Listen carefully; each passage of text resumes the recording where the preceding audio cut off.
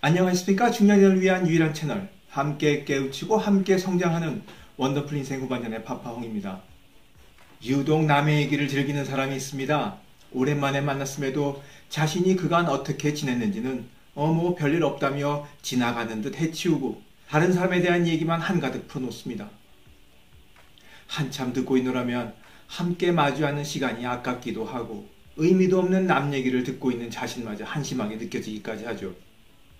뒷담화 즐거움에 흠뻑 빠져 입에 거품 물고 있는 친구를 바라보며 이런 생각을 해봤습니다. 도대체 제 머릿속에 뭐가 들었길래 남 얘기만 쏟아내는 걸까? 그래서 오늘은 그 나이 처먹도록 뒷담화가 자기 인생의 유일한 기쁨이자 즐거움인 사람들의 특징에 대해 이야기 나눠보려고 합니다. 그 나이 처먹도록이라는 표현이 귀에 거슬리는 분이 계시다면 그 나이 들어서까지로 표현을 바꿔 들어주시기 바랍니다. 그래도 오늘 제목엔 센 표현을 아예 넣지 않았으니까 귀에 거슬렸더라도 너그럽게 이해해 주시기 바랍니다. 믿습니다. 함께 깨우치고 함께 성장하는 채널이니만큼 함께 하자는 이 숭고한 정신을 지인들과의 영상 공유를 통해 몸소 실천해 주면 아주 감사하겠습니다. 공유는 곧 사랑입니다.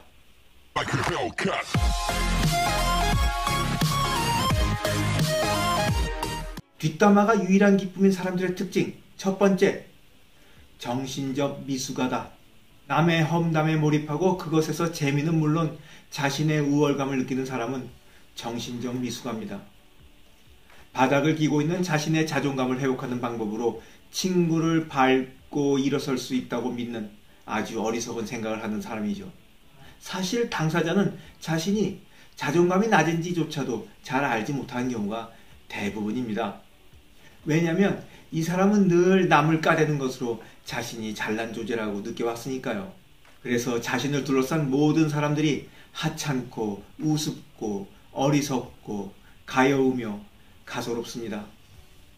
자기가 보기에도 좀 잘났다, 잘 나간다 하는 사람은 그래서 부러움을 느낄 수 있는 그 친구가 있다면 그 친구는 분수도 모르고 까부는 사람이 되고 그래서 눈꼴 사나운 처지로 전락시킵니다. 남 잘 되는 꼴은 두 눈 뜨고는 못 보죠. 뒷담화를 즐기는 사람은 기본적으로 이야기 구성에 소질이 있는 타고난 이야기꾼입니다. 마주 앉아 듣고 있는 사람의 귀를 사로잡을 줄 알고 상대방의 반응에 따라 뒷담화의 강약 조절도 능하죠. 그래서 이들이 풀어놓는 뒷담화는 그저 직설적인 험담이 아니라 상황에 맞게 자신의 안타까움, 동정과 공감, 때로는 기대와 바람을 뒤섞어 놓은 영악함이 숨겨져 있습니다. 아주 뛰어난 스토리텔러예요. 이 좋은 재능을 살려서 글을 써본다던가 뭐 저처럼 유튜브를 해본다던가 뭐 이러면 좋을 텐데 낮은 존재감 때문에 자신의 재능은 눈에 보이지 않습니다. 뒷담화가 유일한 기쁨인 사람들의 특징 두 번째 늘 한결같다. 제가 역설적인 표현을 썼습니다. 변함없는 모습이란 표현이 좋게 쓰일 때도 있지만 반대로 세월이 흘러도 성장과 발전을 하지 못하고 늘 정체된 인생을 말할 때는 부정적인 표현으로 쓰일 수 있죠. 이렇듯 남의 험담으로 세월을 죽이는 사람이 발전하고 성장하기란 불가능합니다. 그래서 험담 즐기는 사람의 그 변치 않은 모습에 친구가 씩 웃으면서 한마디 톡 쏩니다. 야, 넌 어떻게 변하지도 않고 한결같냐? 옛날하고 똑같아. 험담 즐기는 사람이 친구가 툭 던진 가시가 꽂힌 이 말의 뜻을 이해하고 뜨끔했을까요? 성장 발전하려고 노력하는 사람은 남의 단점을 들여다보고 그것을 물고 뜯고 할 여유조차 없습니다. 관심도 없죠. 아예 관심도 없습니다. 되레 친구들의 좋은 점, 장점을 보는데 관심이 더 많을 겁니다. 사람이란 자신이 관심 갖고 있는 것만 보이는 법이거든요. 성장 발전하려고 노력하는 사람이 남 얘기를 할 때가 있는데 그럴 때조차도 이 사람은 타인의 배울 점, 좋은 점, 긍정적인 면에 대해서 이야기를 합니다. 당연한 이치죠. 뒷담화를 즐기는 사람은 발전하지 않고 늘 한결같이 남을 물고 뜯고 비아냥거리며 그런 인생을 삽니다. 뒷담화가 유일한 기쁨인 사람들의 특징. 세 번째, 불안 속에 살고 있다. 뒷담화를 즐겨하는 사람은 친구들로부터 또는 무리로부터 떨어져 나갈까봐 내팽개쳐질까봐 늘 불안불안해 하며 삽니다. 정신적으로 미숙한 이 사람은 불안할수록 그들을 서로 떼어놓아 자신의 곁에 두기 위해 더 남을 헐뜯습니다. 아주 멍청한 사람이죠. 더 웃긴 것은 뭐냐면 뒷담화 하고 나서는 자신이 물고 뜯고 한 사람의 그 귀에 들어갈까 봐서 그걸 또 불안해 한다는 거예요. 한 2년, 3년쯤 됐을려나? 저희 부부가 한 가정으로부터 저녁 식사 초대를 받았습니다. 아, 물론 한국인 가정이죠. 대부분의 시간을 그 자리에 없는 다른 사람에 대한 이야기를 하더라고요. 저희는 그 이야기 속 인물과는 어쩌다 우연히 마주치면 가볍게 인사하는 정도의 관계였으니까 자기들 둘이 나이도 비슷하고 더 가까운 사이였습니다. 그래서 어 그러냐 그러냐 들으며 만남을 끝냈습니다. 이때까지만 해도 이야기 들으며 앉아있기가 좀 힘들었다 싶었지만 뭐 그 정도였어요. 불쾌하기까지는 하지 않았거든요. 초대받은 집을 나와 차를 몰고 가는데 방금 헤어졌던 그 사람으로부터 전화 한 통이 옵니다.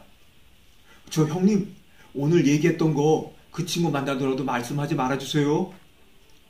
아이 그래 알았어 걱정하지 마 하고 전화를 끊었지만 제 입에서는 곧바로 욕이 튀어나왔습니다. 뭐야 이 새끼 나를 어떻게 보고 이런 거야 이거 험담을 들어주니까 저도 여기저기 돌아다니며 말을 옮기는 사람으로 취급을 한 건 겁니다. 화제를 돌리지 못하고 잘 알지도 못한 사람에 대한 이야기를 그냥 그냥 들어준 제 잘못도 반성하게 되더라고요. 뒷담화하는 사람은 늘 불안합니다. 친구들로부터 제외될까봐, 자신의 험담이 당사자 귀에 들어갈까봐 불안불안합니다. 그 불안 때문에 더 험담에 몰입하는 악순환에 빠져나오지 못하죠. 이 정도면 정신 이상 아닐까 싶습니다.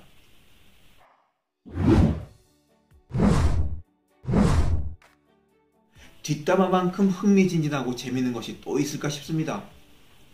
한 사람을 자신의 잣대로 재단하고 거기에 추측을 섞고 우월감, 동종, 가소로움, 비아냥, 하찮음과 눈꼴 심을 양념으로 버무려서 잘근잘근 씹어대고 어디 한번 잘 되나 보자는 지독한 저주로 짜릿한 즐거움을 맛봅니다. 하지만 뒷담화는 결국 자신의 정신적 미숙함, 낮은 자존감, 발전 없는 생활, 그리고 친구들로부터 배제될까 두려워하는 불안함을 드러냅니다. 원만한 인간관계를 유지하며 살고 싶다면 뒷담화는 절대 해서는 안 될 일입니다. 동창들과의 만남, 내가 다니는 회사, 좋은 사람들과의 모임을 오래도록 이어가고 싶다면 뒷담화를 척결해야 합니다. 뒷담화는 공동체를 갈기갈기 찢어놓은 공동의 적이니까요. 입이 근질근질 하더라도 혀를 깨물어서라도 허벅지를 꼬집어서라도 남 얘기는 하지 말자고요. 여러분 모두 친구의 좋은 점만 눈에 들어오는 따뜻한 시선으로 살아가는 인생을 바라면서 오늘 영상 마치도록 하겠습니다. 원더풀 인생 후반전에 멋지게 나이 먹기는 계속됩니다. 감사합니다. 원더풀 인생 후반전을 계속 만나보고 싶으시다면 구독 부탁드리겠습니다. 감사합니다.